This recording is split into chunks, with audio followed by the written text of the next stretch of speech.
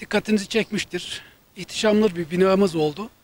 Bu binanın yapılma esnasında hem çınarımız hem de tarihi eserimiz korunacak şekilde bina projelendirildi. Gördüğünüz gibi tabiatın ve tarihin karıştığı ve güzelleştiği bir alandasınız. 493 yıllık olduğu söylenen çınar ağacımız bir koruma altına alınmak suretiyle te- teçhizlenmiş bulunmaktadır. Şu anda da bu ağacımızla beraber e, aşağıda biraz evvel gördüğünüz tarihi bir kalıntımız da, kalhaneden kalma bir eserimiz de orada.